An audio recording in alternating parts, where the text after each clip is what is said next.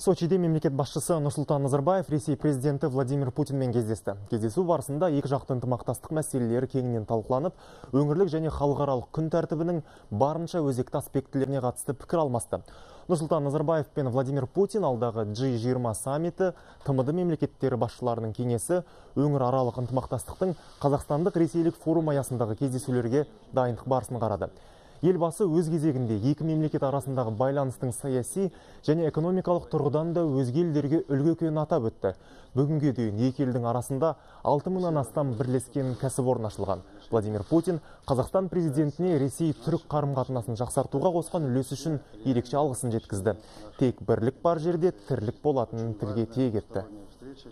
Что касается наших отношений, я считаю, что они образцовые и в политическом, и в экономическом плане.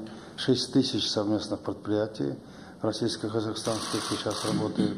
Они все реальное воплощение нашей интеграции в жизнь. Очень важная двухсторонняя встреча 4 октября, а наша традиционная межрегиональная, где, как мы договорились, мы проведем очень мощный российско-казахстанский бизнес-форум.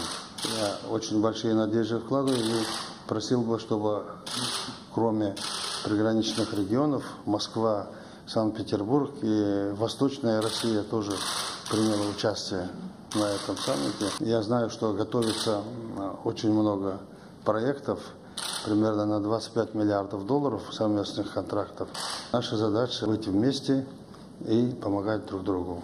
Я рад, что налаживаются отношения с Турцией. Я рад, что Казахстан и Россия остаются надежными соседями и партнерами, и все вопросы решают так, как должно решаться в цивилизованном мире. Мы искренне стремимся к восстановлению полноформатных отношений. Біз шын мәнінде Түркиямен достық қарым-қатынас орнауын, ынтымақтастықтың артуын тілейміз. Ұзақ жылдар бойы бұл елмен арадағы байланысқа сызат түспеген.